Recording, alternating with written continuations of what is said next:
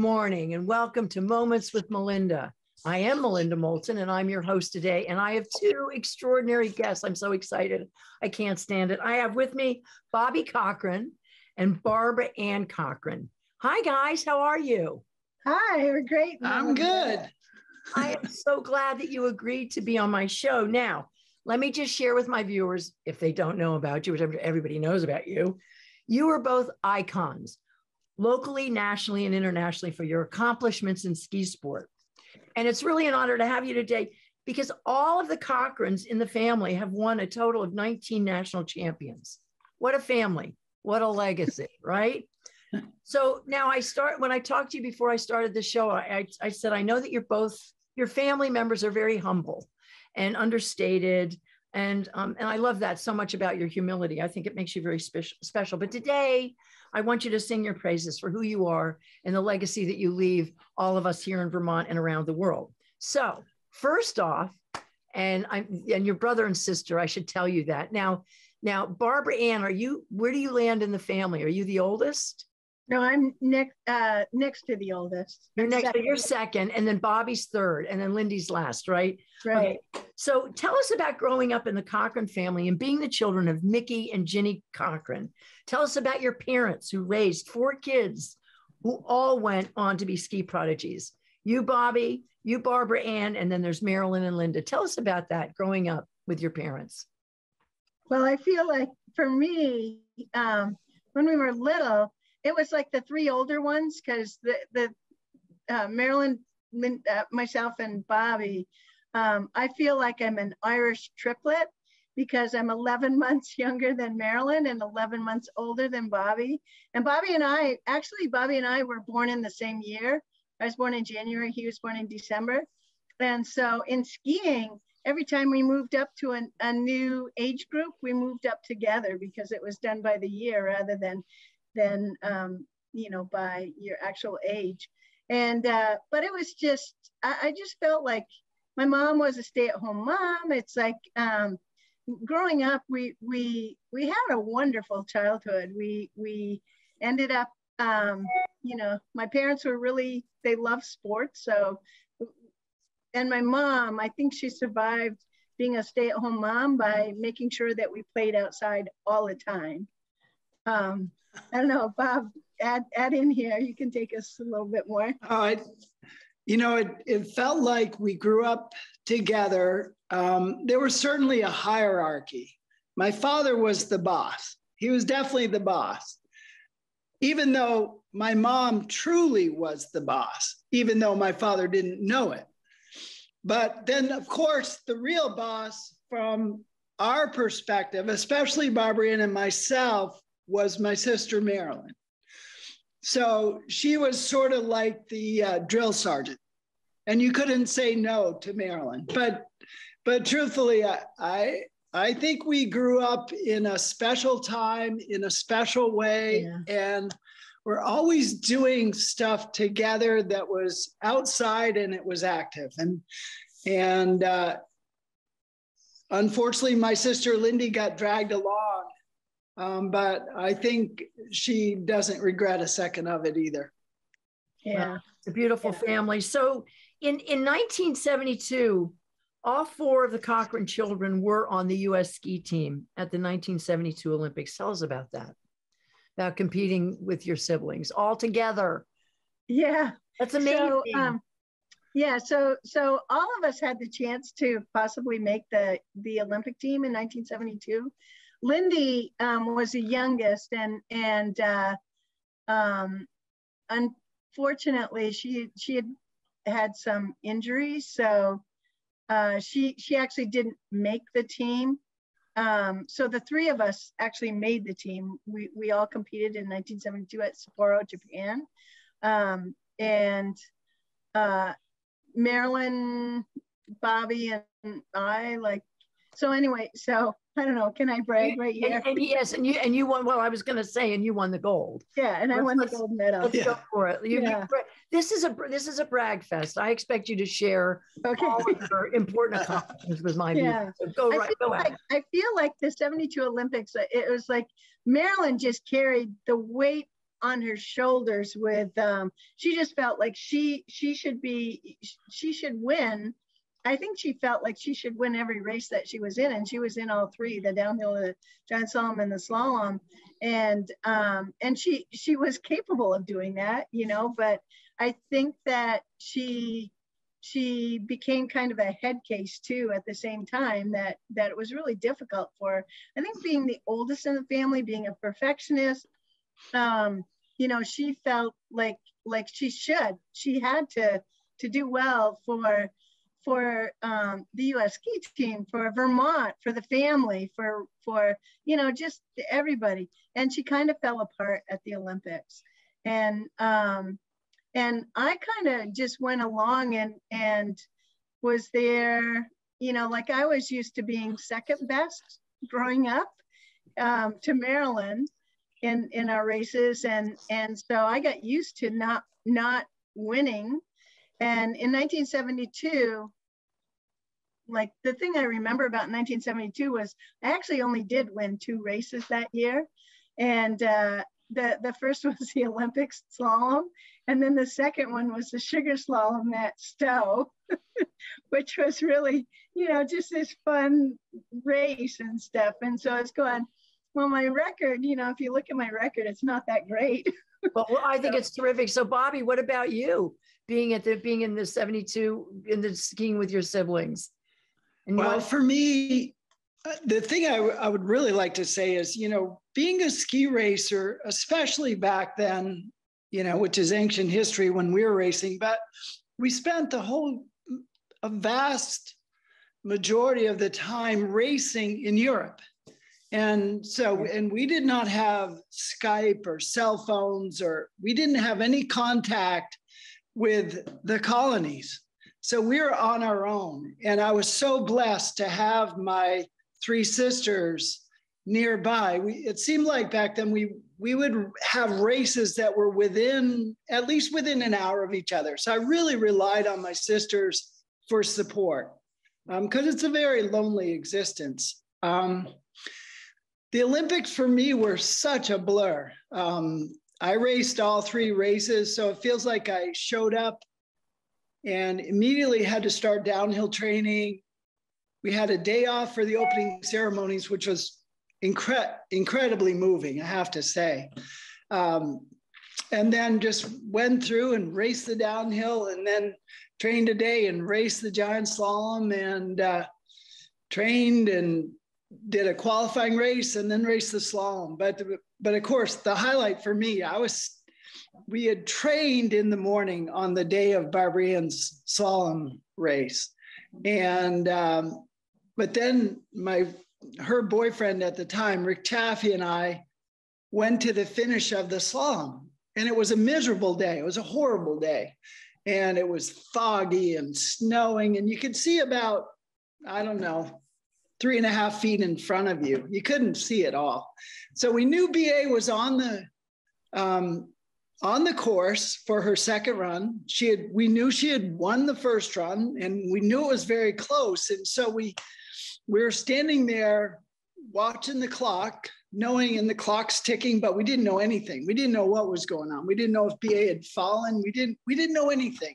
And, and then B, all of a sudden, BA is Barbara Ann. BA is Barbara right. Ann. I'm right. sorry. That's okay. Yes. No, no, no. Go ahead. We've always called her BA, but Barbara Ann was on the course, and and then like a miracle, she, she came out of this fog and snow and made a couple of turns and went through the finish. And we looked at each other and we sort of didn't know if she'd won, but we knew she was either first or second. And so we decided, well, we're going to just jump the fence. So we jumped the fence, ran over, put her up on our shoulders.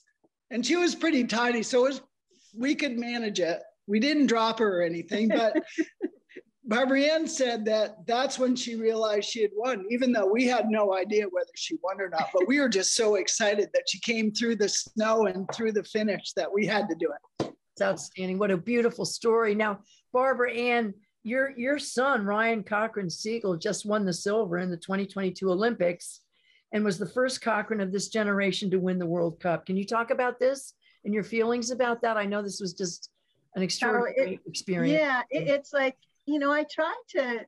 Um, it was his second Olympics, and and at the first Olympics in 2018, when he went to to um, Pyeongchang, I like I wanted to let him know that there are so many people that that can get on the podium, and I said including him, you know, and and he didn't he didn't do that at at those Olympics, but it's like so I, I felt like the same thing for him going to these Olympics, and that that um, he he he actually had had some results in in ski racing and and um, had come in first, had come in second. So he actually had been on the podium in World Cup races.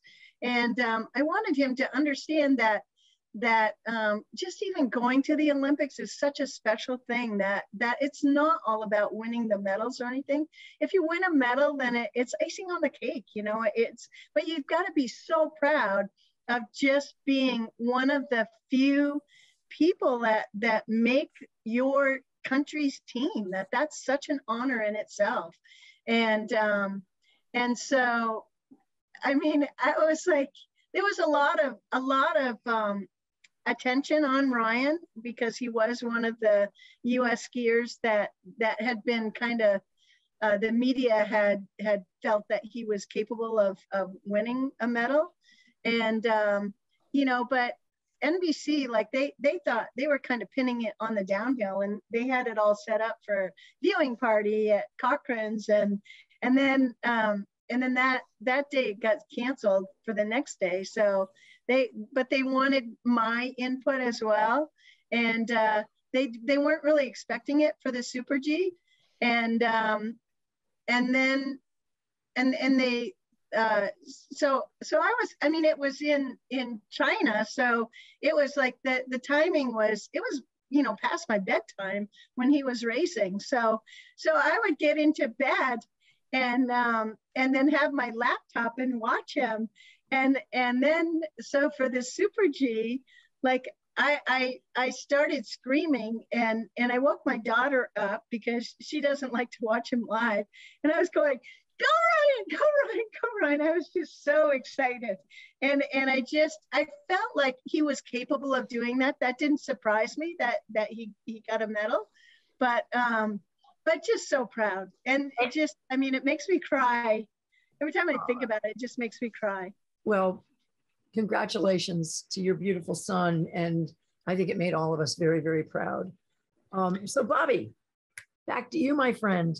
Between 1970 and 1973, you won the prestigious Hahnenkamm Downhill in Kitzbühel, Austria, which is the toughest and most famous downhill races in the world. Can you share with us a little bit about that accomplishment? Um, yeah, I, I, um, well, I didn't win the downhill. I won the Hahnenkamm combine, combine, which well, is sort of used to be the the premier trophy that you could win. It's sort of like winning the Masters or Wimbledon or something. I mean, in in Austria, skiing is a religion, and uh, Kitzbühel is hard to describe. It it's one of those places where you really have to go. Um, I went back because my son Jim was racing in the slalom at the Hahnenkamm thank God he was not racing the downhill because I don't think my heart would have taken it. It is so scary. And um, the thing I would add about Ryan is the year before his Olympic silver medal in Super G, he had fallen in Kitzbühel and broken his neck. Yeah. Uh, it was so scary watching. But anyways, sorry, BA, to and, bring and then up made, that and then, and then made that amazing comeback. Yeah. But um, but it's just one of those things that I don't know if it seems real still, but it I'm very proud of it. And you know, I don't know if I appreciated it. In fact, I do know that I didn't appreciate it at the time um, you know, you just you're a kid and you're racing and you're doing your best. And I remember, I in the downhill, I came in third. I came in third. The first and the second places were um, Roland Colombin and Bernhard Russi, who are arguably two of the greatest downhill races ever. And the person in fourth was an Austrian, an Austrian racer by the name of Franz Klammer, who is who is uh, probably not arguably who is the greatest downhill racer ever. So that's one of the things I'm the most proud of. What a legacy, my friend. What a legacy. Now, Barbara, you wrote a book, Skiing for Women. And I assume that it's still in publication, right? And yeah, also, I, I, actually didn't write it. There's a chapter about me. okay, there. about you in it. Okay. And then also you wrote for the for the uh, Washington Post, and you have a business, Golden Opportunities in Sports, Business, and Life. Are you still? Yeah, which I, I, I kind of that was like a title that I started with, but now, um, what do you do? Now I just now? call it uh, Barbara Ann Cochran Coaching, BA Cochran Coaching. BA Cochran Coaching, and people can find you on the web. So, and yeah. you probably coach on sports, business, and life, right? Well, it, mostly what it's evolved as is um, coaching uh, the mental side of competition for athletes. I mean, I do, I talk to parents, I, I talk to teams, I, I talk, but I, and I haven't really, um, my idea when I first started doing it was, you know, that I would uh, do it for businesses and, and, and really as it's evolved, it's really, I, I talk to, I talk to mostly athletes. Athletes, you're a mentor for how athletes. to help them, how to help them in competition. Well, I think that's what your family's done eh, throughout their whole, the legacy of the Cochran family. So share with my viewers a little bit about the Cochran ski area, which is family owned and operated. I think I think Bobby, your son, um, is the general manager. And what does it mean to you all as a family, to the community, and to the sport of skiing? Talk about the Cochran ski area. Well, well I, I think the scary, yeah, when you mention the scary, you mean really you're talking about my dad because he's the one that really started it all. It was his dream. And, um, you know, now it's a nonprofit scary, although I tell everyone that um, it's always been a nonprofit. yeah. My parents never made profits, they lived off depreciation. Um, yeah. But it's just, I think it's a little gem. Um, and, and the best part to me, the best part of the ski area is to see all the young, young and old racers and the, the families that go there. It's it's just a community meeting places where you just make memories. Well, yeah, well, it's you know one of the things that like over the years there's been kids that have you know learned to ski at, at Cochran's and and uh, one like it amazes me like there there was somebody out in i think it was san diego or out out west someplace that was at this big conference i think it was like a technical engineering conference or something like that and there was somebody that was giving a speaker that had learned how to ski at cochran's and actually had raced at cochran's and somebody in the back said um, did you used to ski at Cochran's? Yelled out. and I just think our reach is, you know, so much more than we realize. But I think it's like, I, I just, there, there's another parent that when he says he comes up to the, the goes up the hill and to the upper parking lot and he, he makes that that crest of, of getting to the parking lot he calls it prozac mountain. And he says there's just such a peace about it you know that it's just very comforting and and very you know and it, it's um it's not elaborate it's not it's very it is it's very comforting to to go there and to bring your family and to to ski and and it's very community based i think that there's a lot of community for um for cochran and, it, and it's very and it's very different than um, what we're seeing today in the ski industry. And one of my questions was that this cochran ski area has created some of Vermont's finest skiers. And I wanted you to talk a little bit about the mythology, which you did just now, and about the magic. And and so you just shared with us a little bit about the magic around the the area. It hasn't really changed that much in since your dad, you know, and mom first bought the land and created the ski area. There's some snowmaking and um, but the magic is peace and community and the fact that you're opening your hearts to the community to come into your family. And Exactly. it's, it's like opening your home to Right.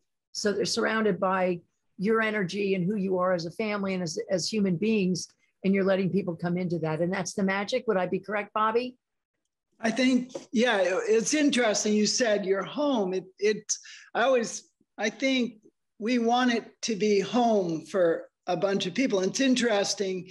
The original lodge, I think this is one of the advances because the original lodge used to be my mother's kitchen, and she would make a batch of brownies or something and that would be nourishment for the skiers. So now we have a separate lodge from my mother's kitchen.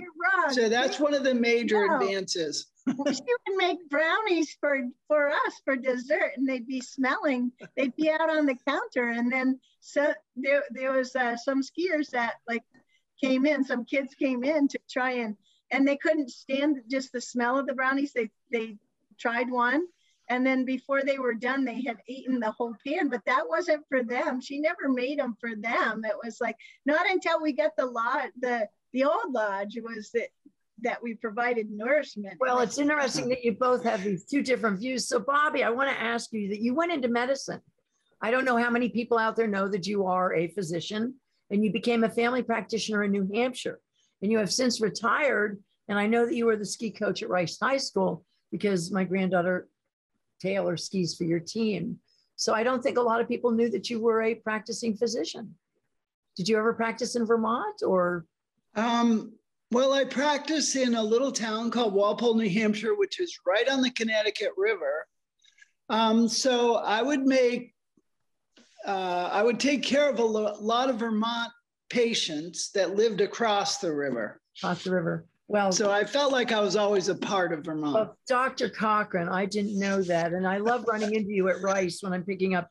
So I want to share with you a little bit. I have a question for you. And uh, that today's world is complicated.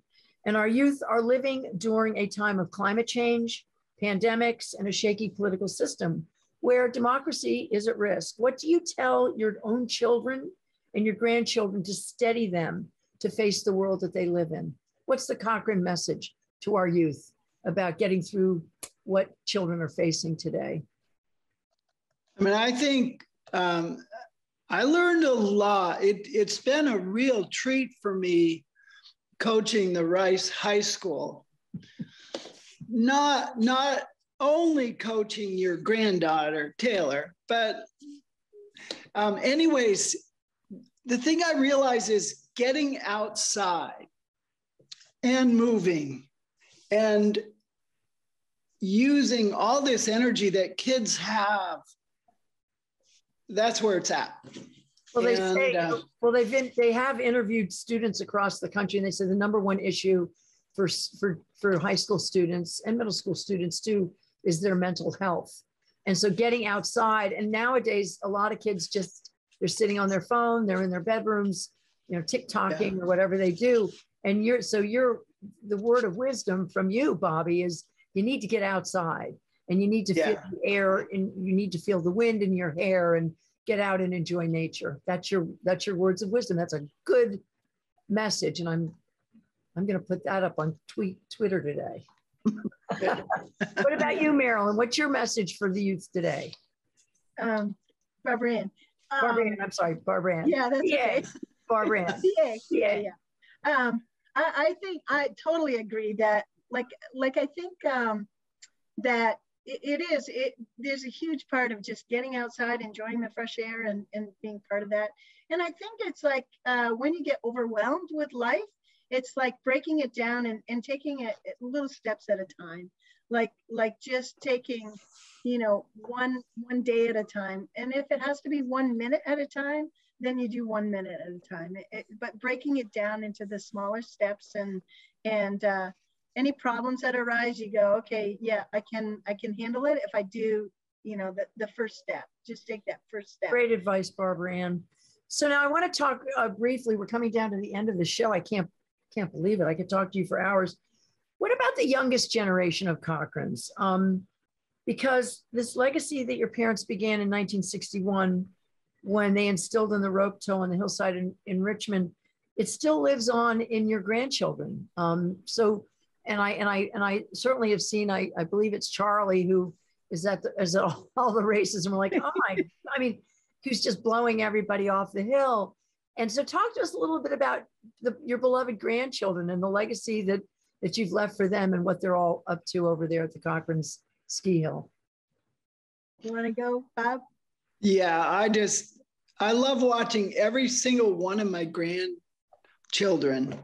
Uh, I have five grandchildren within five miles, and um, the three oldest are my son Tommy's children, and they're the three boys that are very active, and um, they haven't raced to speak of, although I'm grooming them to be uh, part of the Rice Alpine ski team. So we'll see about that. But um, the thing I, always love about any kid that I think that grows up at Cochran's or grows up skiing in Vermont is they can go anywhere in the world and they'll be one of the best skiers on the mountain. So no matter their skiing success or failure or whatever, they can always enjoy this sport. And and you know i i'm hoping that climate change doesn't make doesn't take away our great sport. I every fall the first snow i was like please please let it snow. So uh, and when you see the white stuff life is good. Yeah. And, and for me like i think that the the um the this next generation our, our kids uh, children, like our grandchildren, is um, you know some of them just uh, love to ski. Like I, I, have a grandson that that really took to skiing last year um, at the age of of four. And um, like I was telling Bob the other day, I said, you know, I, I don't think that he's going to really want. I don't I don't see him as getting into ski racing, but he loves to ski. And I think that's interesting with, with that generation is that there are some that just love ski racing and, and then the others that just love the skiing part. And I think that's what, you know, is, is important to us is, is just that, again, they're outside, they're enjoying the, the nature, they're, they're, um, have that experience and, and, uh, and it that in itself is is just um, it's enough for us that they enjoy being outside and being in nature. And and there's this whole new extreme skiing now that is actually very common in all the areas of, you know, flips and jumping off of, you know, I mean it's uh it it and and skiing is changing. I mean the skis have changed. It's a very it's very different, and um so so the future of skiing is is changing, but there is that concern about snow. Now, yeah. I, I, I believe because of the lake that we'll always have good snow in Vermont, um, but that's a bit, that's a big wish. Um, yeah, I'm going to hold you to it. Well, yeah. I, I, I think we're lucky to have the lake and that lake effect that comes over the yeah. Green Mountains and drops its snow. And you have installed some snowmaking at at, at Cochran's, right? Right. Because yeah. now the ski areas are open until May. I mean, Killington and Jay, and I mean, people are skiing in May, and that was unheard of back in our generation, right? Oh, yeah. absolutely. You know, I remember if you had good any snow in by the end of March, you were happy. And now at Cochran's, I always I, I remember a couple years ago looking over, and there was a really decent patch of snow in May. Yeah, well, there you have it. So there's great hope and future, not only in the future of skiing, but also the future of the Cochrans with this incredible legacy of young up and comings. Whether they're going to race or not, they're always going to be the best skiers on the mountain. And um, to the two of you who are just so rich in all the beauty of humanity and all that you do, and look at how strong and healthy you are. So it's a testimony to all of us to get out and to enjoy the nature and to put on those skis and get out there as soon as we can. Um, uh, so I want to thank you both, uh, Barbara Ann B.A. Cochran and Bob Cochran. And um, Bobby, I'll see you at Rice, and I'll we'll certainly see you on the mountain when when the girls are racing down um, for G. Well, Addison's with GMVS this year, so you'll see her her race oh, down the mountain. And um, and stay in touch. And I want to thank you for your time. I could talk to you for hours. Um, and I love your little, what's the name of your cat that's behind you, BA? What's the, Oh, who is that beautiful creature? Kingsland. Kingsland. Kingsland. Well, he's, and he's been sitting there behind your, your back this whole time. So you've gotten, he's been looking over your right shoulder. So, yeah. So I want to thank you for your time and for everything that you do for our community. You really are a legacy and you're so important to, to Vermont and, and nationally. So on that note, I'm going to wish you well and wish you a beautiful day and I will see you on the mountain. And to my viewers, thank you for joining me and I will see you all very soon.